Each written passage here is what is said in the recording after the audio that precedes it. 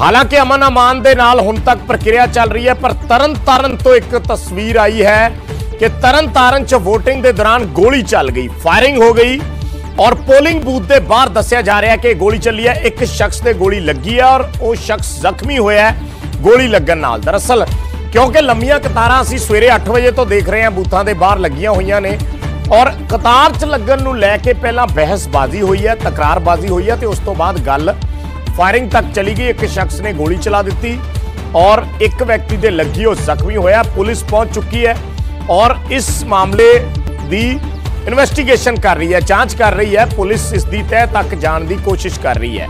ਦੱਸਿਆ ਜਾ ਰਿਹਾ ਕਿ ਲਾਈਨਾਂ ਜਿਹੜੇ ਲੋਕ ਲੱਗੇ ਸੀ, ਉਹਨਾਂ 'ਚ ਝਗੜਾ ਹੋ ਗਿਆ ਤੇ ਕਈ ਲੋਕਾਂ ਦੀਆਂ ਪੱਗਾਂ ਤੱਕ ਲੱਤ ਗਈਆਂ। ਸਿਧਾਰਥ ਅਰੋੜਾ ਮੇਰੇ ਸਹਿਯੋਗੀ ਜੁੜੇ ਨੇ। ਸਿਧਾਰਥ, ਪੂਰਾ ਵਾਕਿਆ ਜਾਨਣਾ ਚਾਹਾਂਗੇ। ਕੀ ਕੁਝ ਹੋਇਆ? ਕਿਸ ਸ਼ਖਸ ਦੇ ਗੋਲੀ ਲੱਗੀ ਹੈ? ਕਿਸ ਨੇ ਗੋਲੀ ਚਲਾਈ? ਪੁਲਿਸ ਦਾ ਐਕਸ਼ਨ ਹੁਣ ਤੱਕ? ਬਿਲਕੁਲ ਜੇ ਗੱਲ ਕੀਤੀ ਜਾਵੇ ਤਾਂ ਜਿਹੜੀ ਆ ਸੋਹਲ ਜਿਹੜਾ ਪਿੰਡ ਹੈ ਉੱਥੋਂ ਜਿਹੜੀ ਘਟਨਾ ਸਾਹਮਣੇ ਆਈ ਹੈ। ਦੱਸਦੀ ਕਿ ਉੱਥੇ ਅ, ਲਾਈਨ 'ਚ ਲੱਗਣ ਨੂੰ ਲੈ ਕੇ ਜਿਹੜੀ ਹੈ ਝੜਪ ਦੱਸਿਆ ਜਾ ਰਿਹਾ ਹੋਈ ਹੈ ਜਿੱਥੇ ਗੋਲੀ ਚੱਲ ਜਾਂਦੀ ਹੈ।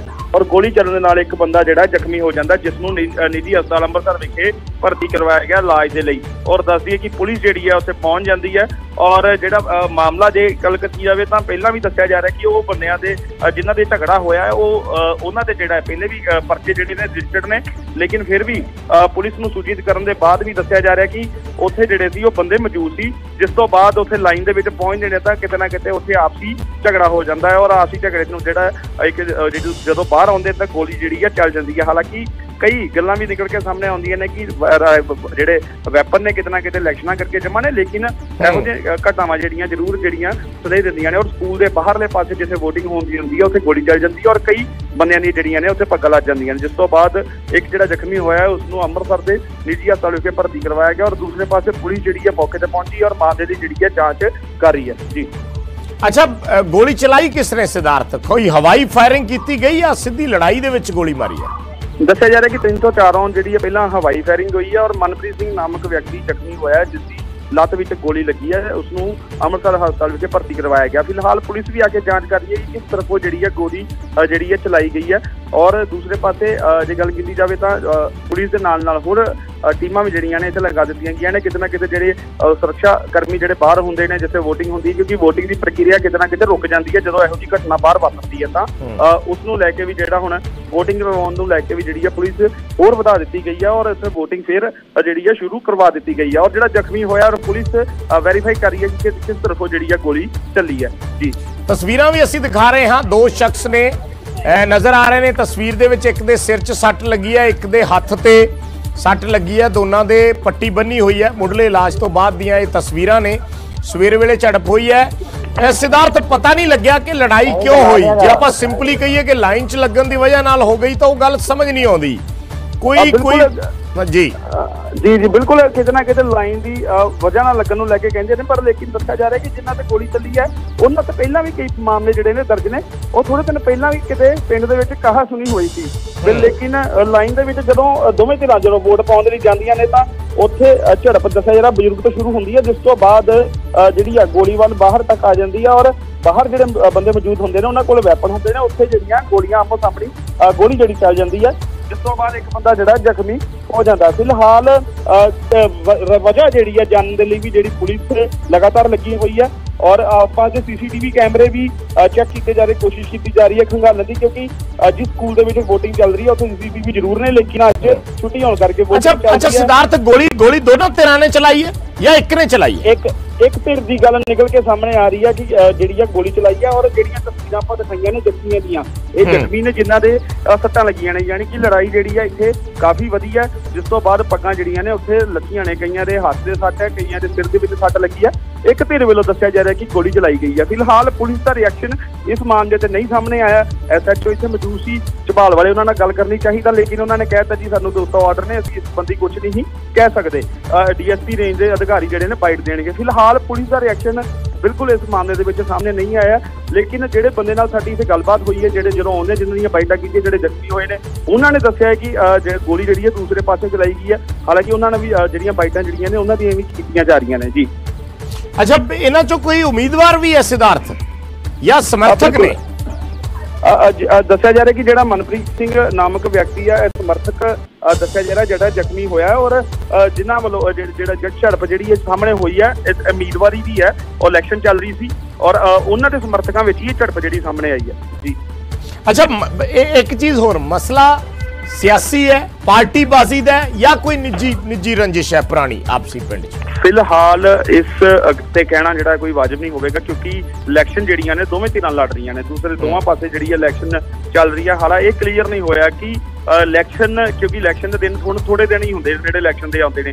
ਕਿ ਇਹ ਇਹ ਹੁਣ ਦਿਨਾਂ ਦੇ ਵਿੱਚ ਜਿਹੜੀ ਹੈ ਗੋਲੀ ਚੱਲੀ ਹੈ ਜਾਂ ਪਹਿਲਾਂ ਤਾਂ ਕੋਈ ਮਸਲਾ ਇਹਨਾਂ ਦਾ ਆਪਸੀ ਪੁਰਾਣਾ ਚੱਲਦਾ ਆ ਰਿਹਾ ਇਹ ਜਦੋਂ ਪੁਲਿਸ ਦਾ ਬਿਆਨ ਇਸ ਮਾਮਲੇ 'ਚ ਸਾਹਮਣੇ ਆਵੇਗਾ ਤਾਂ ਸਾਰੀ ਇਹ ਪਿਕਚਰ ਜਿਹੜੀ ਹੈ ਕਲੀਅਰ ਕੋਈ ਕੋਈ ਰਾਉਂਡ ਅਪ ਕੀਤਾ ਪੁਲਿਸ ਨੇ ਕਿਸੇ ਨੂੰ? ਫਿਲਹਾਲ ਪੁਲਿਸ ਇੱਥੇ ਮੌਕੇ ਤੇ ਪਹੁੰਚੀ ਹੈ। ਆਸ-ਪਾਸ ਦੇ ਕੈਮਰੇ ਖੰਗਾਲ ਖੰਗਾਲਣ ਦੀ ਵੀ ਕੋਸ਼ਿਸ਼ ਕਰ ਰਹੀ ਹੈ। ਰਾਉਂਡ ਅਪ ਇਸ ਮਾਮਲੇ 'ਚ ਹਾਲੇ ਕੋਈ ਨਹੀਂ ਕੀਤਾ ਗਿਆ ਲੇਕਿਨ ਜਿਹੜਾ ਜ਼ਖਮੀ ਹੋਇਆ ਸੀ ਉਸ ਨੂੰ ਅੰਮ੍ਰਿਤਸਰ ਵਿਖੇ ਦਾਖਲ ਕਰਵਾ ਦਿੱਤਾ ਗਿਆ। ਤੇ ਜਿਨ੍ਹਾਂ ਨੇ ਗੋਲੀ ਚਲਾਈ ਉਹ ਇੱਥੋਂ ਜਾ ਚੁੱਕੇ ਨੇ? ਫਿਲਹਾਲ ਇੱਥੇ ਸਾਰੇ ਹੁਣ ਜਿਹੜੀ ਅਮਨ ਅਮਾਨ ਦੇ ਨਾਲ ਜਿਹੜੀ ਫੇਰ ਤੋਂ VOTING ਜਿਹੜੀ ਹੈ ਸ਼ੁਰੂ ਹੋ ਚੁੱਕੀ ਹੈ।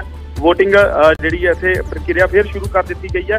ਹਾਲਾਂਕਿ ਕੈਮਰੇ 'ਚ ਕਲੀਅਰ ਹੋਵੇਗਾ ਕਿ ਕਿਸ ਧਿਰ ਵੱਲੋਂ ਸਭ ਤੋਂ ਪਹਿਲਾਂ ਸ਼ੁਰੂਆਤ ਕੀਤੀ ਗਈ ਗੋਲੀ ਚਲਾਉਣ ਦੀ। ਹੁਣ ਜੇ ਆਪਾਂ ਗੱਲ ਕਰ ਲਈਏ ਤਾਂ ਇੱਥੇ ਜਿਹੜੀਆਂ ਦੋਵੇਂ ਧਿਰਾਂ ਨੇ, ਇੱਕ ਪਾਸੇ ਤਰਸੇਮ ਸਿੰਘ ਸੋਹਲ, ਜਿਹੜੇ ਨੇ ਸਰਪੰਚ ਖੜੇ ਹੋਏ ਨੇ, ਦੂਸਰੇ ਪਾਸੇ ਇੱਕ ਹੋਰ ਉਮੀਦਵਾਰ ਨੇ, ਉਹ ਵੀ ਸਰਪੰਚ ਖੜੇ ਨੇ। ਕੀ ਇਹ ਆਪਸੀ ਉਹਨਾਂ ਦੇ ਸਮਰਥਕ ਸੀ, ਜਿਨ੍ਹਾਂ ਵਿੱਚ ਇਹ ਗੋਲੀ ਜਿਹੜੀ ਹੈ ਚੱਲੀ ਹੈ? ਜੀ। ਠੀਕ ਹੈ, ਧੰਨਵਾਦ ਸਿਧਾਰਥ ਇਸ ਪੂਰੀ ਜਾਣਕਾਰੀ ਦੇ ਲਈ। ਤਾਂ ਤਰਨ ਤਾਰਨ ਦਾ ਪਿੰਡ ਹੈ, ਜਿੱਥੇ ਇਹ ਝਗੜਾ ਹੋਇਆ ਹੈ ਔਰ ਪੋਲਿੰਗ ਬੂਥ ਦੇ ਬਾਹਰ ਗੋਲੀਆਂ ਚੱਲੀਆਂ ਨੇ।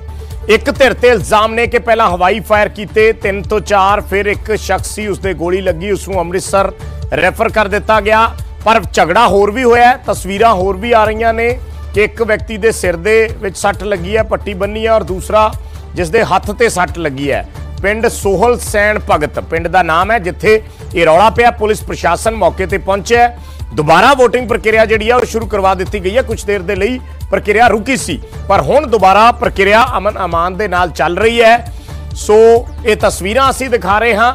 ਫਿਲਹਾਲ ਇਹ ਮੌਕੇ ਦੀਆਂ ਤਸਵੀਰਾਂ ਦੇਖ ਕੇ ਇਹ ਨਜ਼ਰ ਨਹੀਂ ਆਉਂਦਾ ਕਿ ਉੱਥੇ ਫਿਲਹਾਲ ਟੈਨਸ਼ਨ ਦਾ ਮਾਹੌਲ ਹੈ। ਪਰ ਕੁਝ ਸਮਾਂ ਪਹਿਲਾਂ ਮਾਹੌਲ ਤਣਾਅਪੂਰਨ ਜ਼ਰੂਰ ਰਿਹਾ, ਜਿਸ ਵੇਲੇ ਫਾਇਰਿੰਗ ਤੱਕ ਹੋ ਗਈ। ਤੇ ਪੋਲਿੰਗ ਏਜੰਟ ਦੇ ਅੰਦਰ ਪਹਿਲਾਂ ਮੇਰੇ ਇਹਨਾਂ ਕੈਮਰੇ ਲੱਗੇ ਸਕੂਲੇ। ਮੇਰੇ ਚਾਚਾ ਜੀ ਦੋ ਆ ਜਿਹੜੇ ਕੈਂਡੀਡੇਟ ਜੀ ਇੱਕ ਉਹਨਾਂ ਦੀ ਪੱਗ ਲਾਈ ਇਹਨਾਂ ਨੇ, ਇੱਕ ਮੇਰੇ ਆ ਮੈਂਬਰ ਸਾਹਿਬ ਆ ਪੁਰਾਣੇ, ਇਹਨਾਂ ਨੇ ਸੱਚ ਕਿਰਪਾਨ ਮਾਰੀ ਆ। ਇੱਕ ਸਾਡੇ ਬੰਦੇ ਦੀ ਇੱਥੋਂ ਦਾ ਕਿ ਪੱਗ ਵੀ ਲੈ ਗਏ ਆ। ਫਿਰ ਇਹ ਤੋਂ ਬਾਹਰ ਗਏ, ਉਲਟ ਜਾ ਕੇ ਨਾ ਅਗਲੇ ਬੰਨੇ ਚੱਕੀ ਆ, ਉੱਥੋਂ ਜਾ ਕੇ ਇਹਨਾਂ ਨੇ ਫਾਇਰ ਕਰਨੇ ਸ਼ੁਰੂ ਕਰ ਦਿੱਤੇ ਆ। ਜਿਨ੍ਹਾਂ ਫਾਇਰ ਕੀਤੀ ਆਲਰੇਡੀ ਇਹਨਾਂ ਦੇ ਪਰਚੇ ਆ ਜ਼ਬਾਨਤਾਂ ਨਹੀਂ ਕਰਾਈਆਂ ਜ਼ਬਾਨਤਾਂ ਕਰਾਉਣ ਦੇ ਬਾਵਜੂਦ ਹੀ ਬੰਦੇ ਅੰਦਰ ਵੜ ਵੜ ਕੇ ਬੰਦਿਆਂ ਨੂੰ ਡਰਾਉਂਦੇ ਆ ਧਮਕਾਉਣ ਤੇ ਵੋਟਾਂ ਪਾਉਂਦੇ ਆ। ਉਲਟ ਕਹਿੰਦੇ ਕੋਣ ਇਹਨਾਂ ਦੇ ਪਰਚੇ ਕਰਾਉਣੇ ਆ, ਤੇ ਆਲਰੇਡੀ ਇਹਨਾਂ ਕੋਲ ਸਾਡੀ ਐਫ ਆਈ ਆਰ ਇਹਨਾਂ ਦੇ ਕੋਲ ਮੈਂ ਆਲਰੇਡੀ ਮੇਰੇ ਕੋਲ ਆ ਜੀ। ਇਹਨਾਂ ਬੰਦਿਆਂ ਜ਼ਬਾਨਤਾਂ ਨਹੀਂ ਕਰਾਈਆਂ। ਐਫ ਆਈ ਆਰ ਮੇਰੇ ਕੋਲ ਨੰਬਰ ਆ। ਤੁਹਾਨੂੰ ਐਫ ਆਈ ਆਰ ਵੀ ਦਿੰਦਾ ਉਹਨਾਂ ਦੀ। ਕਿਹੜੇ ਬੰਦੇ? ਗੋਲੀ ਕਿੰਨੇ ਚਲਾਈ? ਕੌਣ ਹੈ ਬੰਦੇ? ਇੱਕ ਇਹਦੀ ਗੁਰਲਾਲ ਸਿੰਘ ਮੁੰਡਾ ਕਬੱਡੀ ਖੇਡਦਾ ਅੱਛਾ। ਉਹਦੇ ਨਾਲ ਚਾਰ ਪੰਜ ਬੰਦੇ। ਤਾਂ ਜਿਹੜੇ ਚਸ਼ਮਦੀਦ ਨੇ ਮੌਕੇ ਤੇ ਉਹ ਦੱਸ ਰਹੇ ਨੇ ਕਿ ਇੱਕ ਧਿਰ ਵੱਲੋਂ ਧੱਕਾ ਕਰਨ ਦੀ ਕੋਸ਼ਿਸ਼ ਕੀਤੀ ਗਈ। ਇਹ ਵੀ ਖਬਰਾਂ ਨੇ ਕਿ ਉੱਥੇ ਐਨ ਮੌਕੇ ਤੇ ਪੰਚਾਇਤੀ ਚੋਣ ਜਿਹੜੀ ਸੀ, ਸਰਪੰਚ ਦੀ ਚੋਣ ਉਹ ਰੱਦ ਕਰ ਦਿੱਤੀ ਗਈ। ਖੈਰ ਜਿਵੇਂ ਜਿਵੇਂ ਡਿਟੇਲ ਆਉਂਦੀ ਹੈ, ਅਸੀਂ ਦਰਸ਼ਕਾਂ ਦੇ ਨਾਲ ਪੂਰੀ ਜਾਣਕਾਰੀ ਸਾਂਝੀ ਕਰਾਂਗੇ ਕਿ ਕਿਉਂ ਇਹ ਝਗੜਾ ਹੋਇਆ। ਇਸ ਝਗੜੇ ਦੀ ਵਜ੍ਹਾ ਕੀ ਸੀ? ਤਰਨਤਾਰਨ ਦਾ ਪਿੰਡ ਹੈ, ਸੋਹਲ ਸੈਣ ਭਗਤ, ਜਿੱਥੇ ਇਹ ਰੌਲਾ ਪਿਆ। ਪਰ ਉਸ ਤੋਂ ਬਾਅਦ ਫਿਰ ਅਮਨ ਅਮਾਨ ਦੇ ਨਾਲ ਜਿਹੜੀ ਪੋਲਿੰਗ ਪ੍ਰਕਿਰਿਆ ਸੀ, VOTING ਪ੍ਰਕਿਰਿਆ ਸੀ, ਉਹ ਸ਼ੁਰੂ ਕਰ ਦਿੱਤੀ ਗਈ।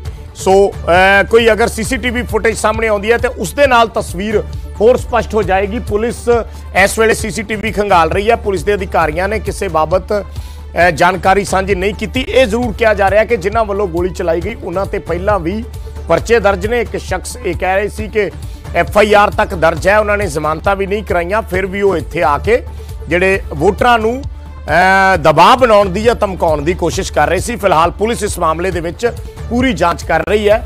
ਕਿ ਕਿਸ ਧਿਰ ਦਾ ਕਸੂਰ ਹੈ, ਕਿਸ ਵੱਲੋਂ ਜੋ ਐਕਸ਼ਨ ਕੀਤਾ ਗਿਆ, ਜੋ ਕਾਨੂੰਨਨ ਕਾਰਵਾਈ ਹੋਏਗੀ, ਉਸ ਦੇ ਮੁਤਾਬਕ ਪੁਲਿਸ ਉਸ ਤੇ ਐਕਸ਼ਨ ਲਏਗੀ।